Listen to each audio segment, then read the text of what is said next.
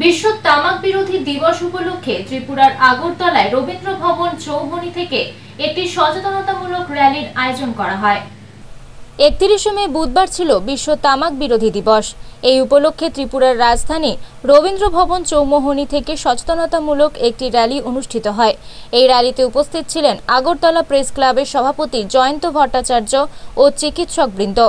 মিছিলটা মূলত জনসচেতনতা তৈরি করার জন্য এই বছরের বিশ্ব তামাকহীন দিবসের যে স্লোগান, আমরা খাদ্য চাই, আমরা তামাক চাই না।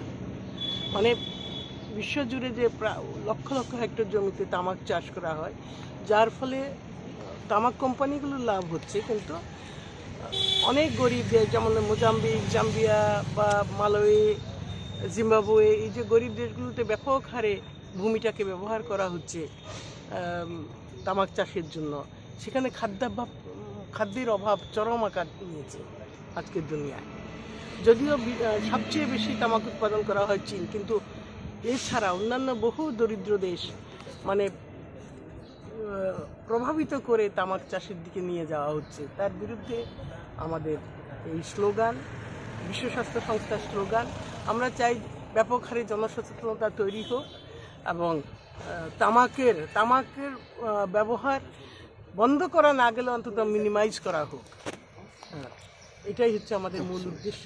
সচেতন ধরেন নর্থ ইস্ট ইন্ডিয়াতে তামাকের ব্যবহারে কিন্তু ত্রিপুরা স্থান দ্বিতীয়।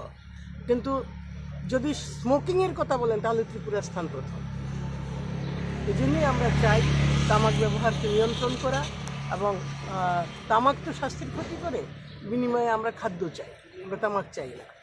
তামাক সেবন করলে কি কি রোগ হতে পারে সেই বিষয়ে জনগণকে সচেতন করার পাশাপাশি তামাকজাত দ্রব্য সেবন না করার আবেদন জানানো হয়।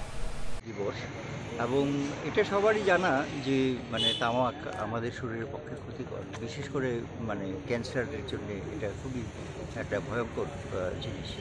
তো এই যে ইউএনও মানে ডাব্লিউএইচও যে স্লোগানটা তুলেছে, যে আমরা খাদ্য চাই, আমরা তামাক চাই এটা এটা হচ্ছে মূলত এই এই যে সারা বিশ্বে মানে যত জায়গা জুড়ে তামাকের চাষ হয়, সেই জায়গায় যদি মানে খাদ্যের চাষ হয় হ্যাঁ তাহলে কিন্তু অনেক মানুষ তার খাদ্য পেতে পারে। কারণ বিশেষ করে আফ্রিকান দেশগুলোতে বা আমাদের থার্ড ওয়ার্ল্ড যে দেশ দেশগুলো আছে, এর মধ্যে কিন্তু খাদ্যের অভাব রয়েই গেছে।